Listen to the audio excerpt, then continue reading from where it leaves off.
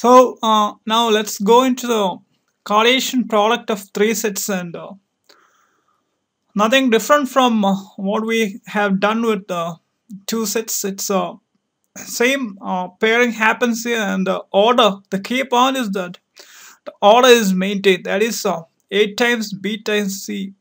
Uh, that is if the, the dealing with Cartesian products of three sets A, B and C. The important point is that we get ordered triplets in such a manner that the first element is from A, second from B, and the third element from set C. So to make clear the point, uh, let's look at the three uh, simple sets that is uh, uh, set A consisting of elements 2 and 3, uh, set B consisting of elements 6 and 9, and set C consisting of elements 4 and 5. Now also a the Cartesian product of sets uh, A and B. It's A times B. Uh, as we already know, uh, it's the first element of uh, A with um, all the elements of B and then go on and, and then the next step is the second element of A uh, and it goes on like that. So uh, what we are getting is the ordered pairs 2, 6, 2, 9 and 3 6 and 3 9 so now what about uh, that uh, operation uh, times c. The key point uh, here is that uh, as you can see the ordered pairs which we have got from uh, set a times set b is maintained and then it pairs with the elements of set c.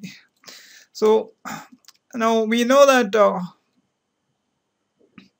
uh, 2 and 6 is, uh, is the first ordered pair of, of uh, a times b and here uh, you can easily uh, see that uh, in the result uh, it's 2 and 6 uh, which which uh, pairs with the first element of 4 that's you get 2 6 4 and then you get uh, 2 6 5 and second ordered pair of a times b is 2 9 and you again see that uh, it's 294 and then 295 so it goes on like that and you get the last uh, ordered pair uh, going on with the um, last element of uh, set C that is 5 and you get uh, um, a triplet.